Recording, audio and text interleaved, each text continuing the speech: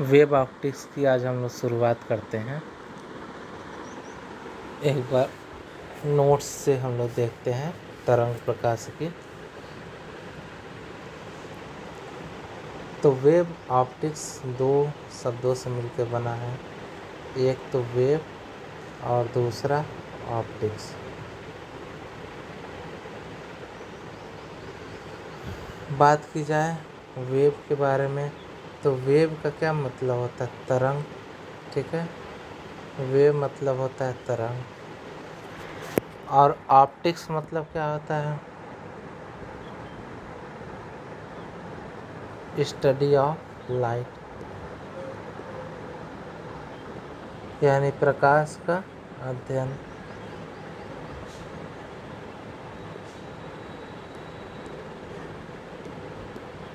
तो इसका क्या मतलब हुआ?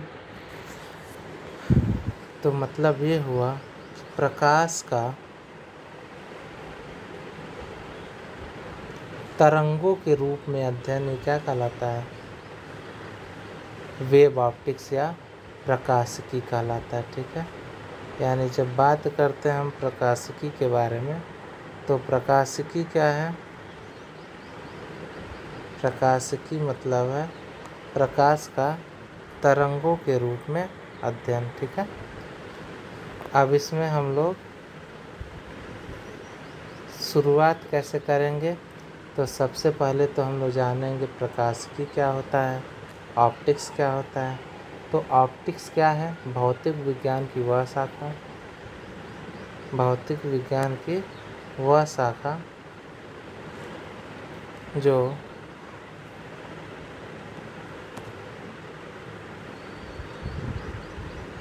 भौतिक विज्ञान की वह शाखा जो क्या करता हो? जिसके अंतर्गत हम लोग प्रकाश एवं प्रकाश के गुणों का अध्ययन करते हैं, वो क्या कहलाता है? प्रकाशिकी कहलाता है, ठीक है? तो भौतिक विज्ञान की वह शाखा जिसके अंतर्गत हम लोग प्रकाश एवं प्रकाश के गुणों का अध्ययन करते हैं, उसे हम लोग प्रकाशिकी कहते हैं ऑप्टिक्स कहते हैं। यानी कि optics is that branch of physics in which we study about the light and property of light ठीक है? ये तो बात करते हैं हम लोग ऑप्टिक्स की। अब बात करते हैं इसमें ऑप्टिक्स के कितने प्रकार होते हैं। काइंड्स ऑफ़ ऑप्टिक्स यदि काइंड्स ऑफ़ ऑप्टिक्स के बारे में बात की जाए तो प्रकाश के जनरली हम लोग दो भागों में अध्ययन करते हैं, ठीक है? मैंने प्रकाश के अध्ययन को कैसे कैसे हम लोग कर सकते हैं, दो पार्ट में कर सकते हैं। पहला रेज ऑप्टिक्स बोलते हैं उसको। दूसरा वेव ऑप्टिक्स बोलते हैं। रेज ऑप्टिक्स को और भी क्या बोलते हैं? जियोमेट्रिकल क्या बोलते हैं? जियोमेट्रिकल ऑप्टिक्स वेव ऑप्टिक्स को और क्या बोलते हैं? वेव ऑप्टिक्स को बोलते हैं हम लोग फ़िज़िकल ऑप्टिक्स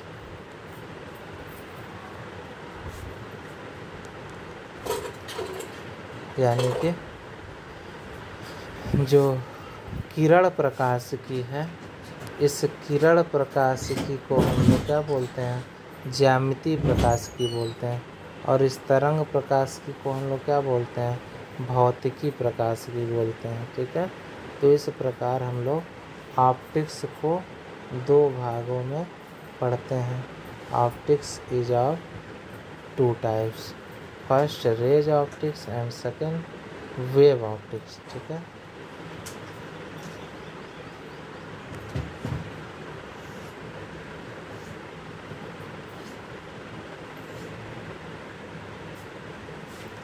अब बात करते हैं हम लोग लाइट के बारे में। लाइट क्या है? तो लाइट के बारे में बात करें तो लाइट इज़ ए एनर्जी प्रकाश क्या है? प्रकाश एक ऊर्जा है, जो क्या करता है? विद्युत चुंबकीय तरंगों के रूप में चलता है। यानी यहाँ से हम लोग जान सकते हैं कि लाइट क्या है। लाइट एक टाइप का एनर्जी है। और ये एनर्जी किस रूप में चलता है? तो इलेक्ट्रोमैग्नेटिक वेव के रूप में। किस रूप में चलता है? इलेक्ट्रोमैग्नेटिक वेव के रूप में ये लाइट चलता है, ठीक है? तो प्रकाश एक ऊर्जा है जो कि विद्युत चुंबकीय तरंगों के रूप में चलता है, ठीक है? Light is a energy which travel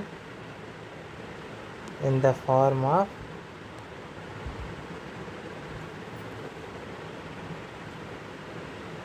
which travel in the form of electromagnetic waves ठीक है? तो प्रकाश एक विद्युत चुंबकीय तरंग है, जो किस रूप में चलता है? जो चलता है विद्युत चुंबकीय तरंगों के रूप में।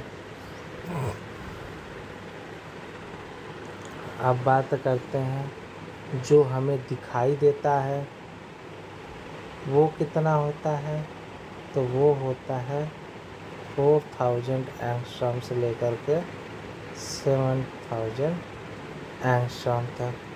ठीक है? जानते हैं, लगभग इसी के रेंज में वायलेट प्रकाश होता है, लगभग इसके रेंज में रेड प्रकाश होता है, ठीक है? तो दो टाइप के लाइट्स होते हैं, एक वायलेट और एक रेड टाइप का लाइट ठीक है? तो इस प्रकार से हम लोग जान सकते हैं कि प्रकाश जो हमें दिखाई देता है, वो किस रूप में होता है? वो होता है विजुअल रेंज के रूप में, ठीक है? और वो उस विजुअल रेंज की जितने भी लाइट आएँगे, उसकी वेवलेंथ होगी तरंग दैर्घ्य होगी 400 नैनोमीटर ठीक है? 400 नैनोमीटर से 700 नैनोमीटर तक। अब बात करते हैं नेचर ऑफ़ लाइट के बारे में, प्रकाश की प्रकृति के बारे में। तो प्रकाश को अलग अलग लोग अलग अलग रूप में मानते हैं, जैसे न्यूटन न्यूटन प्रकाश को क्या मानते हैं? कॉर्पसल्स मानते हैं। ठीक है? यानी न्यूटन प्रकाश को कड़िका के रूप में मानते हैं।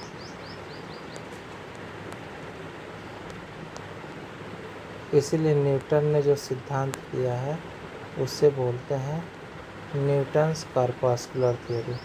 न्यूटन ने जिस सिद्धांत को दिया है उस सिद्धांत का नाम है न्यूटन का कणिका सिद्धांत, ठीक है?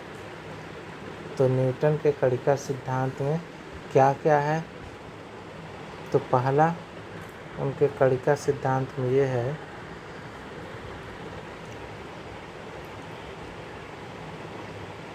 प्रत्येक प्रकाश स्रोत से असंख्य हल्के और सूक्ष्म कण निकलते रहते हैं, ठीक है? Light source emits infinite number of micro particles these are known as corpuscles उन्हें कड़िकाएँ कहते हैं। दूसरा क्या एजम्पन है? प्रकाश के स्रोत से ये कड़िकाएँ निकलकर सभी दिशाओं में सरल रेखा में जाती हैं। From the light source travels in all the direction in a straight line. तीसरा क्या बोलता है? जब भी ये कड़िका हमारे आँख के रेटिना पर पड़ती है तो हमें वस्तु दिखाई पड़ती है। When the light rays falls on the retina then every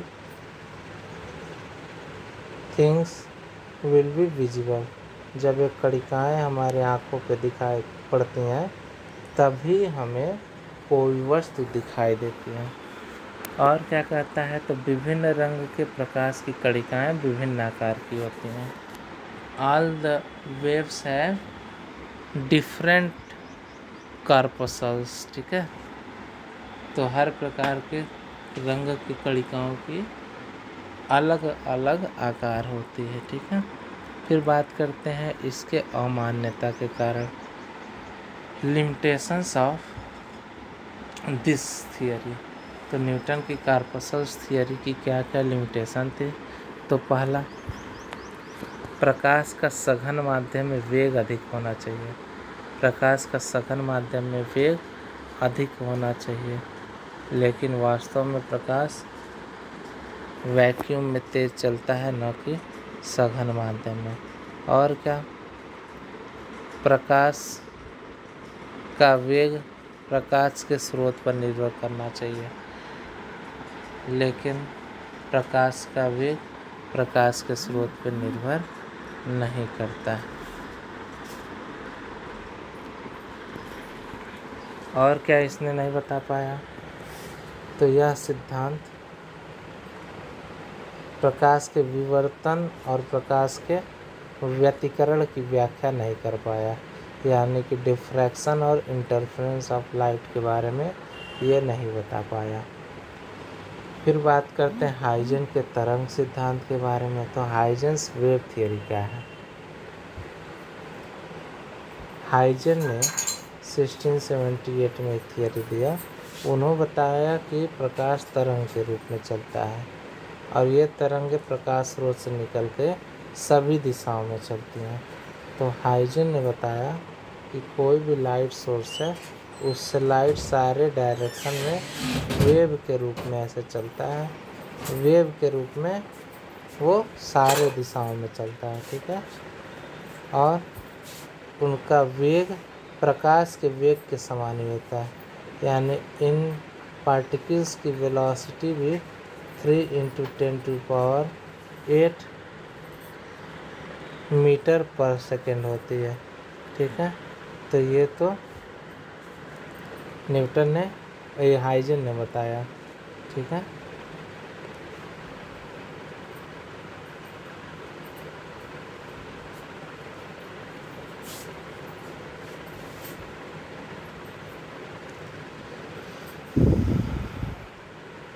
इसके भी अमान्यता के कारण हुए।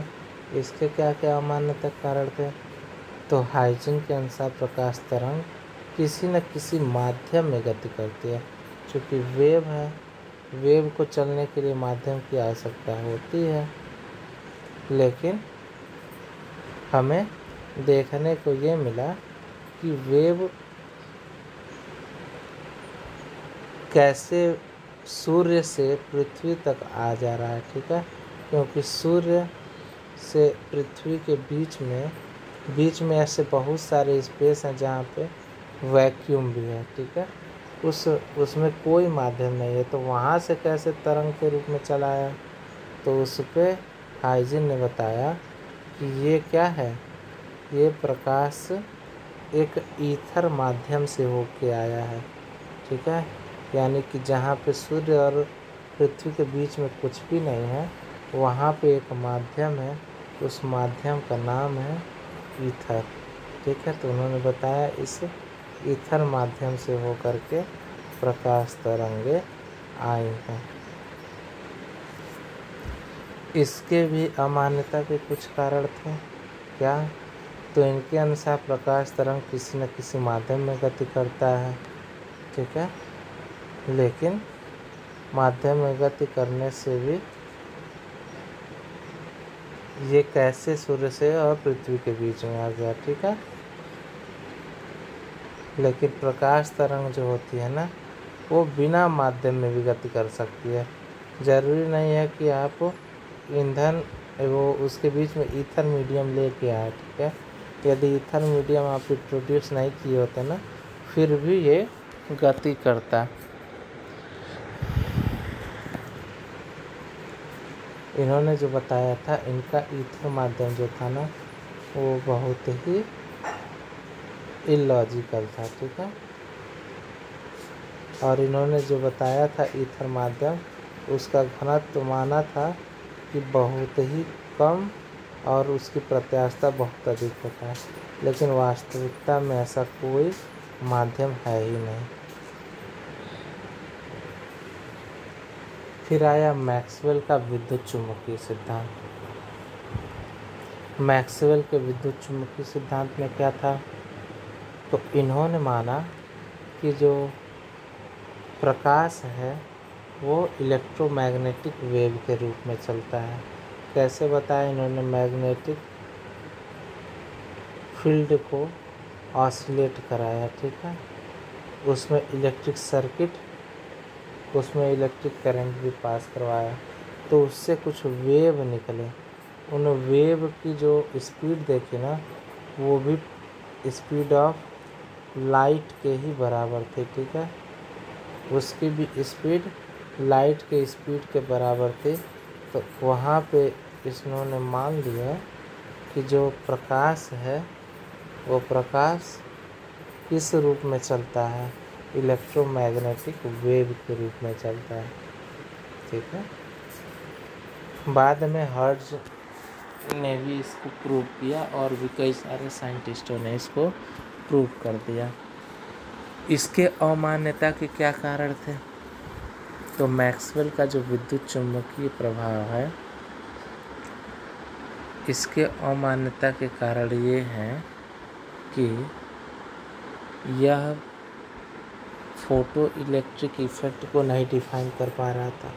ठीक है? यह किसको नहीं डिफाइन कर रहा था? तो फ़ोटो इलेक्ट्रिक इफ़ेक्ट को नहीं डिफाइन कर पाया। और किसको? रमन इफ़ेक्ट को नहीं डिफाइन कर पा रहा था। और क्रॉम्पटन इफ़ेक्ट को भी डिफाइन नहीं कर पा रहा था। तो इस प्रकार हम लोग देखें कि मैक्सवेल का भी थियोरी इम्परफेक्ट हो गया।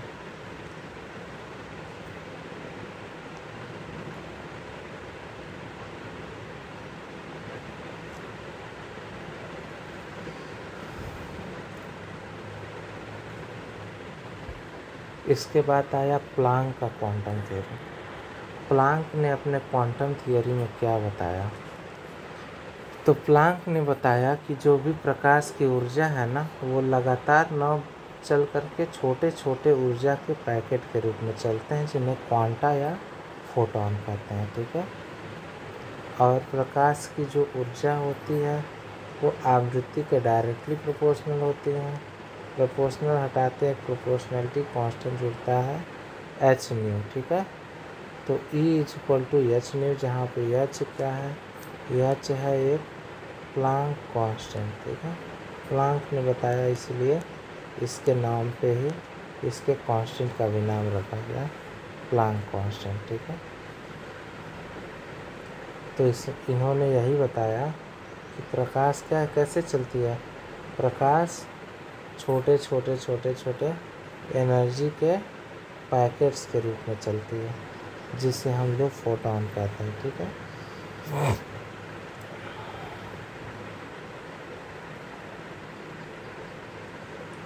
तो इस प्रकार हम लोगों ने ये सारे थियरीज पढ़ लिए।